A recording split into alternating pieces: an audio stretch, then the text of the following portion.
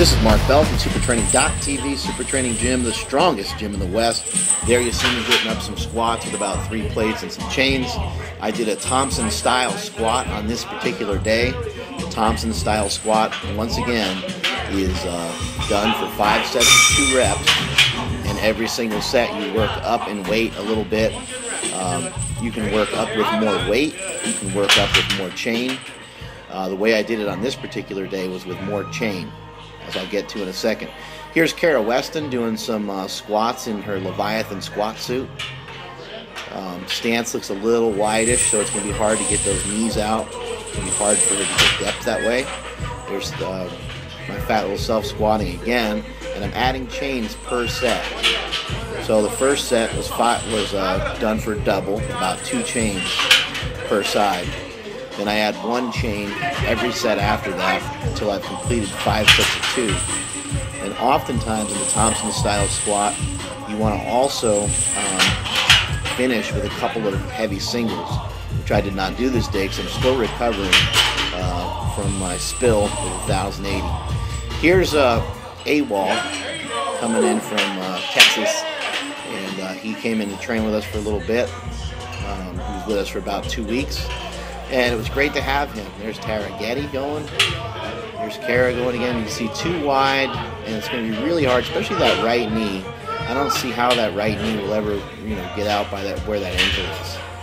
Um, and that's going to be important to get depth. But uh, it was a pleasure having AWOL here, uh, guy who was in the Army for uh, eight years, served his time over there, and uh, been through some pretty gruesome shit. And he's a cool dude, and um, it's always good to have new people in the gym. But he was um, he was really uh, absorbing everything, and he was really asking a lot of questions and stuff. And that that's uh, and he was really involved. He was really involved in uh, trying to help, trying to help everybody, trying to spot and load, all that stuff. Uh, makes me want to answer his questions more. But here's Cara going again. Good upright posture, form is good. Think the stance is just a little too wide. Uh, not not way too wide, just uh, maybe about uh, an inch or two per side. Silent, silent Mike.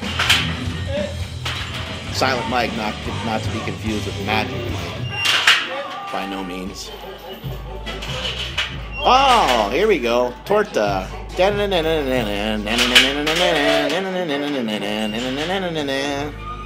We need to get that music cranking every time he does a squat.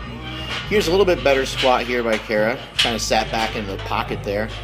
Stance actually looked like it was brought in a little bit there.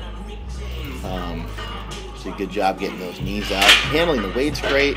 I mean, you know, she came off a pretty horrible injury, and now she's uh, pressing close to 300 pounds off the boards, and she's uh, handling you know, nearly 400 pounds on the squat.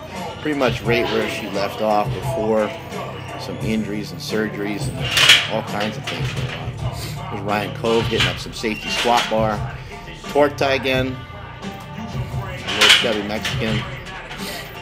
Um, the safety squat bar places uh, stress on the mid upper back.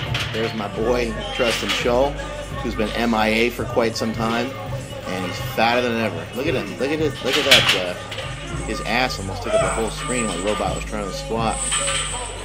But uh, it's great to have Treston back in the gym because Treston is a strong mofo. And Treston has an extra gear, which is good. You know, Treston uh, knows how to he knows how to turn it on and he knows how to knows how to hit big weights.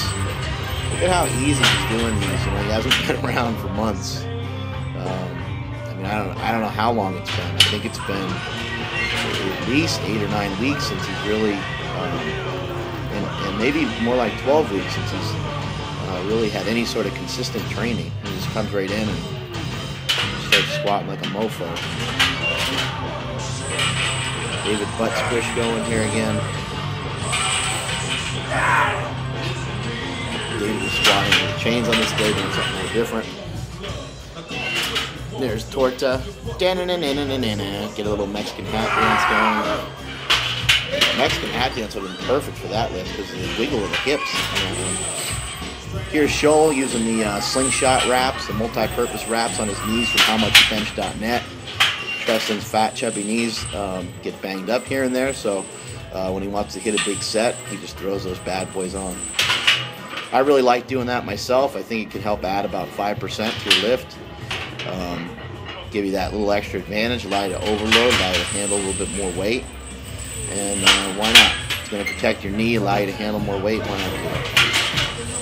Mr. Robot Pants, hitting up some squats. Mr. Robot Pants is losing some weight currently, but uh, still, still squatting like a mofo. There's Scholl. You can see how far back he really sits on those. I think that was about six plates. Um, kind of hard to tell at this point, but the thing is about six plates. So now he's got looks like about six plates in a ten, about 620 or so, plus about 100 pounds of change per side. Um, like I said, Treston's just a brute, man. He just has a lot of strength. Wouldn't surprise me, wouldn't shock me if he just came in and got in a suit and squatted, you know, mid nines after not being around for a long time. Very good form, very good stability. Um, he's just a jerk. There's Mr. Pants. Nearly died. A good strong squat though. And that is it from supertraining.tv. Later.